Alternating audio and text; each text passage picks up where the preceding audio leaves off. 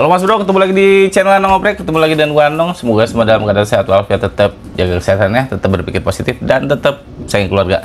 Kebetulan gua tag ini hari Idul Fitri, hari raya Idul Fitri.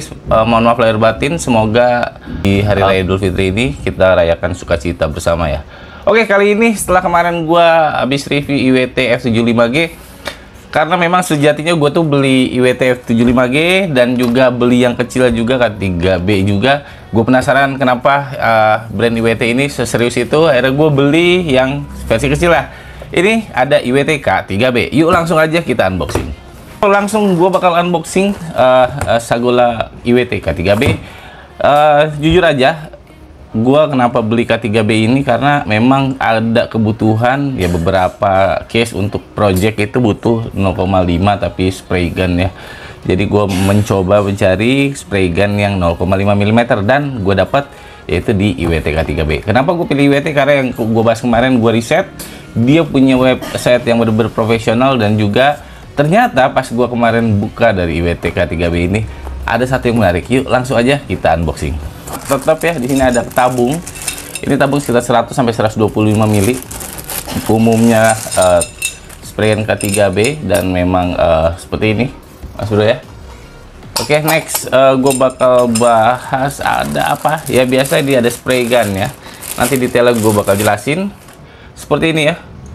Oke, okay, ada tulisan K3B juga, ada ini tulisan logo IWT dan bisa dilihat finishnya tuh agak sedikit mengkilap ya, memang mengkilap di beberapa dan ini banyak sidik uh, jari tangan gue. Uh, dan yang pastinya knopnya itu uh, seperti yang uh, sama seperti F75 ini banyak aluminium, jadi memang dia anti karat ya. Aluminium di mana sih uh, karat yang bisa nempel di aluminium? Pastinya nggak ada ya. Dan next uh, di sini ada kitab suci dari K3B IWT Uh, dan bisa dilihat di dalamnya sama seperti F75 kemarin ada troubleshooting juga gokil. Next ada ini nih dia cleaning kit dari IWT K3B ini seperti biasa dapat brush uh, nggak semua brand K3B serinya itu ngasih brush ini dapat brush juga dan di sini ada ini nih yang bikin surprise buat Mas Bro semua ada kunci kombinasi yang bener-bener uh, beda dari brand lain ya. Kalau brand lain biasanya kasih kunci yang kecil gitu dan useless nggak nggak kepake sama sekali karena gue pengalaman banget ya. Dan ini kasih kunci yang lumayan tebel dan memang ini adalah satu-satunya yang membedakan dari segi uh, kelengkapan di dalamnya ya. Next terakhir K3B IWT juga kasih ini nih hose yang dari aluminium. Jadi kalau aluminium punya itu pastinya bebas dari karat ya. Oke, setelah ini gue bakal bahas secara detail di uh, K3B secara anatomi. Yuk langsung aja. Oke mas bro, segmen ini gue bakal liatin kalau uh, K3B secara detail seperti ini ya. Bisa dilihat uh, debos dan tulisannya IWT. Di sini tulisannya K3B. Ini materialnya uh, pada umumnya sama, tapi menurut gue untuk build quality eh, oke okay ya Uh, dan juga untuk uh, air cap kita bisa lihat hanya ada satu lubang di tiap sisinya. Dan kalau dilihat dari luar nozzle-nya itu dari kuningan ya. Ini nozzle 0,5 memang sengaja gue cari karena gue butuh yang uh, project-project uh, case khusus yang butuh shading. Tapi gue nggak terlalu ribet uh, pakai spray gun gede ataupun spray gun 1,0 yang dikecilin. Gue jadi harus ready di setiap uh, case-nya itu alat yang uh, tersedia. Dan ini gue pilih di IWT K3B. Next kita bakal buka dalamannya seperti apa. Kita bisa lihat dalamannya tidak jauh dari K3B yang lain. Ini uh, dari samping seperti ini ya Mas Bro. Cukup narrow atau sempit di bagian celah antara dua dari uh, dua lubang sampingnya. Bisa dilihat ya, uh, lubang nozzle kecil banget, itu kisaran 0,5 mm. Ini gokil sih menurut gue. Oke, okay, uh, dari bentuk body umumnya ke 3B dan yang pastinya bisa dilihat untuk dari setiap konektornya ini anti karat ya Mas Bro ya.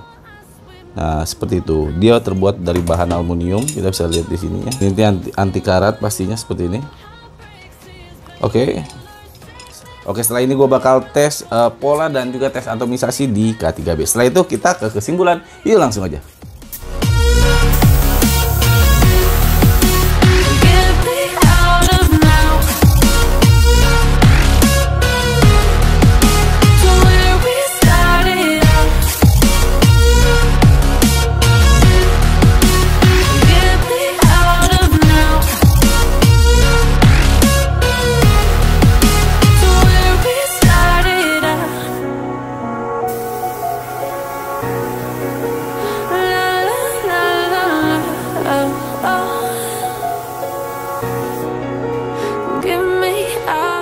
Mas bro, depan gue ini udah ada hasil tadi aplikasi spray test. Uh, sebelah kanan ini adalah aplikasi 18 cm, 15 cm dan juga 10 cm. Ini hasil drop code application ini ada full uh, weight application. Jadi bisa dilihat kalau untuk jarak 18 cm ini lebar pola total kisaran uh, sekitar 13 14 cm dan untuk weight uh, core areanya itu sekitar um, 10 cm. Untuk jarak 15 cm totalnya itu kisaran 12 oh 13 cm beda 1 cm. Uh, dan full coating areanya sudah 9 setengah cm. Untuk jarak 10 cm ini paling kecil itu kisaran total 10,5 cm atau 10 sentian dan untuk weight uh, core areanya sekitar 7,5 cm Kenapa le uh, lebar polanya kecil? Karena kita harus ingat ini mempunyai nozzle 0,5 mm.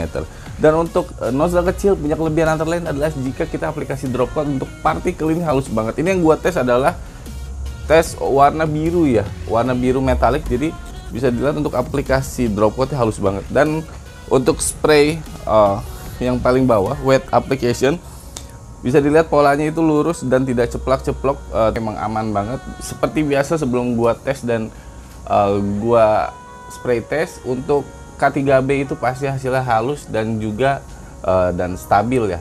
Oke bisa dilihat hasilnya stabil dan pinggirnya halus banget. Oke cukup sekian untuk spray test kali ini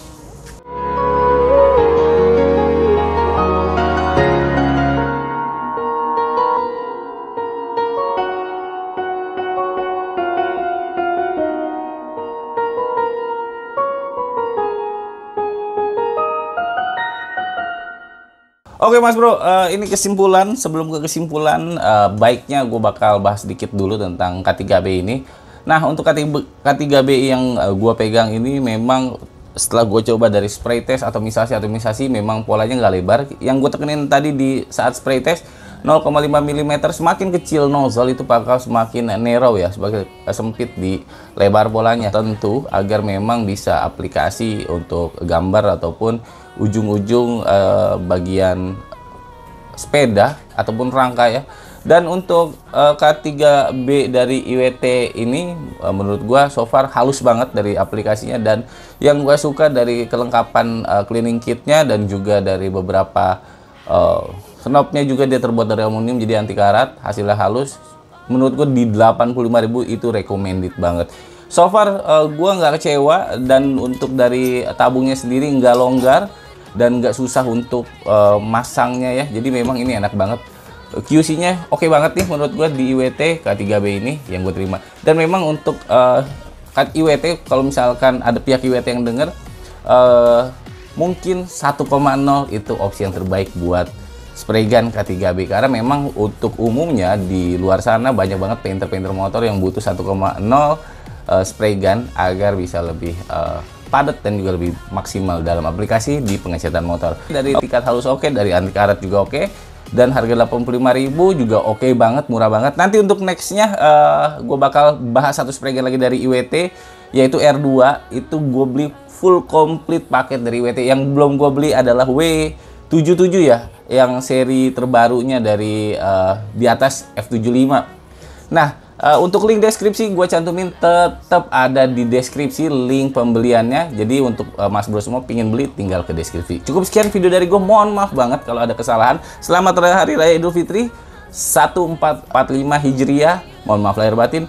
Tetap jaga kesehatan, tetap berpikir positif dan sayang keluarga. Cukup sekian dari Anong Oprek. Sampai ketemu di video Anong Oprek berikutnya. Dadah.